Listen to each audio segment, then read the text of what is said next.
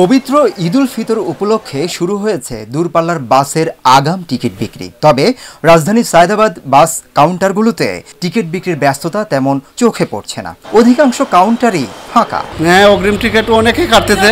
আমি আমি আইসেই পাই পাইছি যার কারণে আমি টিকিট নিয়ে টাঙ্গাইল থেকে শ্রীমঙ্গলের ডিস্টেন্স যেহেতু দূরত্ব অগ্রিম টিকিট ছাড়া তো আর যাওয়া যাবে না ঈদের সিজন কাউন্টারগুলো বিভিন্ন কাউন্টারগুলো দিচ্ছে।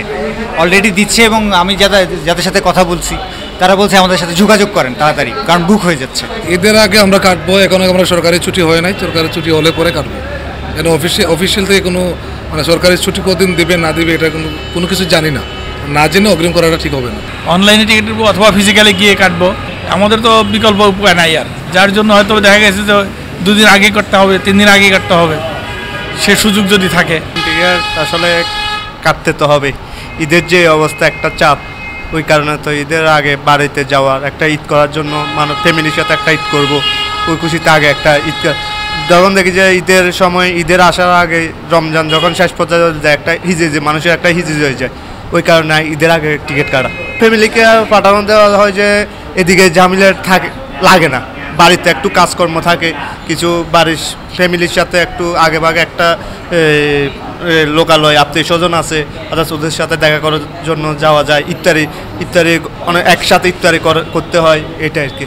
কোনো কোনো বাস কাউন্টারে গিয়ে কথা বলে জানা গেছে, আগাম টিকিট বিক্রি করছেন না তারা। কারণ দেখা যায় যে, গাড়ির সময় দেওয়া হয়েছে সকাল নয়টায় সেই সময় গাড়ি হয়তো যানজটে পড়ে থাকবে। তখন আরেক ধরনের সমস্যা হবে। তাই ঈদের সময় তাৎক্ষণিক টিকিট বিক্রি করা হবে। সেই সাথে ফিরতি টিকিটও তাৎক্ষণিক দেয়া হবে। সকাল থেকে শুরু করে আমরা ধারাবাহিকক্রমে আমরা ঈদের অগ্রিম দেওয়া শুরু করেছি। টিকিট আমাদের ভাড়া ধরা হয়েছে সর্বনিম্ন লাস্ট স্টপেজ পর্যন্ত। যেমন খুলনার ভাড়া খুলনার ছয়শো পঞ্চাশ টাকা আমাদের কোনো ভাড়া বাড়ানো হয়নি বৃদ্ধি করা হয়নি। আমাদের সোহাগের স্ট্যান্ডার্ড অনুযায়ী আমাদের যাত্রীর চাপ থাকলে আমরা কখনো ভাড়া বাড়াই না। আমরা রেগুলার ফেয়ার যেটা নিই ওটা নিচ্ছি। নর্মাল সচরাচর আমাদের বর্তমান চলছে ছয়শো পঞ্চাশ টাকা খুলনা। আমরা ছয়শো পঞ্চাশ টাকা রেখেছি খুলনা। এবং বেনাপুর সাতশো পঞ্চাশ টাকা বেনাপুর সাতশো পঞ্চাশ টাকা রেখেছি এবং যশোরে কিছু স্পেসিফিক কোর্স রয়েছে। ওই যশোর বারো বছর রেগুলার ফেয়ার ছয়শো পঞ্চাশ টাকা ওই ছয়শো পঞ্চাশ টাকা রাখা হয়েছে। এখন ফির টিকিটের পুরোপুরি চালু করা হয়নি তবে আর কয়েকদিন পর ফির টিকিটের চালু করে দিবে। প্রাইস আমাদের আগের যা ছিল তাই আছে। গভর্নমেন্টের যে বিআরটির যে প্রাইসটা আছে ওইটাই আছে এখনও। বাড়তি কোনো ভাড়া নেওয়া হচ্ছে না বা ইয়ে হচ্ছে না। এখন যাত্রীর সংখ্যা খুব কম।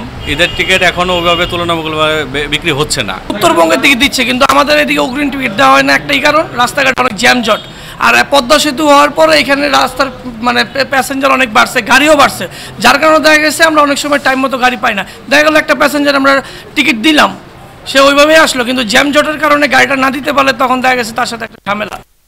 এই কারণে আমরা দিচ্ছি না। ইনস্ট্যান্ট গাড়ি পাবো ইনস্ট্যান্ট টিকিট দিবে। আঠারো বিশ তারিখে যাত্রী বেশি আসে। তা আমাদের সিট প্ল্যান আজকে থেকে শুরু হয়েছে। মানে কিছু টিকিট বিক্রি হয়েছে এখন পর্যন্ত। ফিরার টিকিট আমরা দিই না। মানে ফিরতি টিকিট ওরা ওখান থেকে দেয়। আমরা এখান থেকে দিই না। আমাদের কক্সবাজার নন এসি হচ্ছে এগারোশো আর এসি হচ্ছে পনেরোশো টাকা। আর চিটাং হচ্ছে ছয়শো আশি টাকা নন এসি আর এসি হচ্ছে নয়শো পঞ্চাশ টাকা। আমাদের টিকিটের মানে প্রাইস একই থাকে। এটা কখনো পরিবর্তন হয় না। আসন্ন পবিত্র ঈদুল ফিতরের ঈদযাত্রায় রেলেরও অগ্রিম টিকিট বিক্রি শুরু হয়েছে সাত এপ্রিল থেকে। নয় এপ্রিলে উনিশ এপ্রিলের টিকিট, দশ এপ্রিলে বিশ এপ্রিলের টিকিট এবং এগারো তারিখে বিক্রয় হবে একুশ এপ্রিলের ঈদযাত্রার টিকিট। জানা গেছে, যাত্রার দিন কাউন্টারে মিলবে ট্রেনের standing ticket. Siddiqur Rahman, Roman, প্রতিদিনের বাংলাদেশ।